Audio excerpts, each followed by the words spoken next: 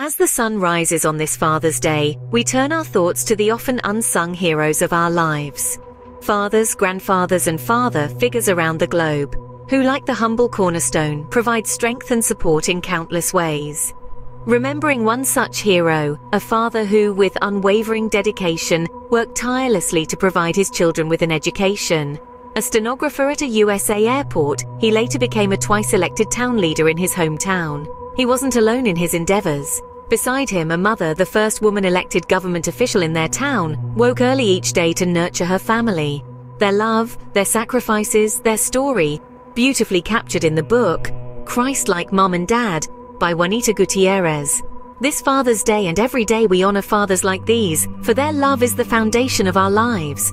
Discover more about this remarkable story and others in the 22 books by Miss Gutierrez, globally available on juanitagutierrez.com, Amazon, and all bookstores. Today we celebrate you, fathers, for you are our everyday heroes.